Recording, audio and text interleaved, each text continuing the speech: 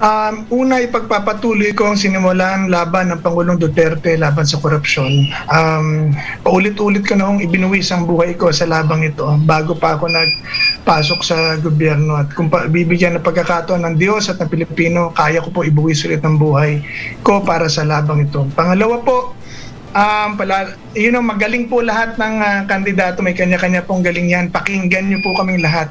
Um, alamin niyo ang aming mga sasabihin, pero ang hihilingin ko lang po, siya sa atin niyo rin po ang aming track record.